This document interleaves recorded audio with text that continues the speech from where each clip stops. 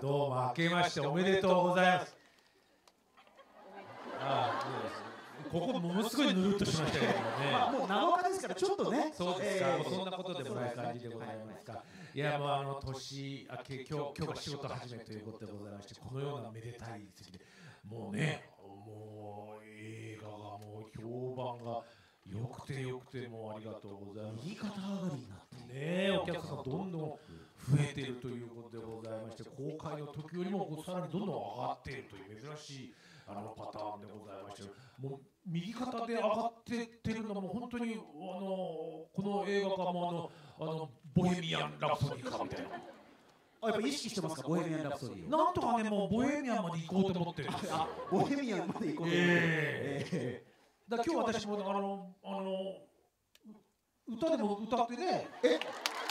ボヘミアン・ラプソディをここでそれから自分のした歌を歌いたいってことですまあボヘミアンかなっていう桂由紀の方ですかあっちの。えやっぱ私英語が話せないんで、やっぱあっちは歌えないんですよね。え今日が仕事始めとはいいう、ことそうでございます。じゃあ結構ゆっくりされてあ、ゆっくりいたしました。あどんなことをされて？のね、それこそあの家族で北海道帰りまして、ええ、実家でゆっくりとはい。過ごしまして、はい。スキーしたり、お好きした。ええ、あのしてました。スキーして、スケートもしました。あ。スケートもした。滑ってばかりですわ。滑りまくっていた。はい。はい。はい。もう滑り知らずのこれ私が。そうですね。滑りまくってました。あと大晦日にご覧になった安倍首相からは本当に元気の出る映画でしたいろいろと考えさせられましたという感想も届いておりますそれはさすがに驚きましたね。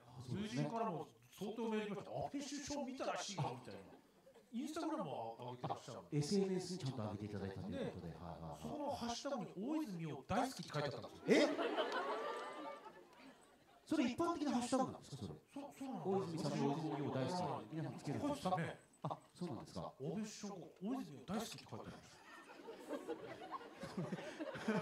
これは安倍首相もちゃんとそれをちゃんと検索してこのハッシュタグみんな使ってるということでそういうことですよね。ええ一生打ってくれたんですよね。大好きって言ってくれたらありがたいすごいですよね。えー本当にありがとうございました。あのー本当にあのー今の時代なかなかその公開週よりもその次の週にさらにお客さんが入る映画ってのは本当に少なくて、あのまさに右肩上がりという大変嬉しい、えー情報でございます。そして、もうそれはもう一人ね、皆様の、あのもう口コミの宣伝のおかげでございまして、やはり映画って、なんか改めて口コミなんだなというのをね、なんかこう実感しております。もう本当、皆様のおかげで少しでも多くの方に見てもらえているのがすごく嬉しいですし、やっぱりこの映画って、あの、まあ本当に楽しんでいただける映画で、あのね、まあ、キンジェストロフィーという難病を扱ったあの映画ではあるわけですけども、本当にあの見てもらった方のね、感想は、あのやっぱりいい意味で裏切られている方が多くて、まあ、非常に明るい映画です。あの暗い気持ちにならない、あの笑えるところもたくさんある映画なので、すごくあのそういうところを楽しんでもらえたらいいなとも思うんですけど、まあ、同時にやはり、あの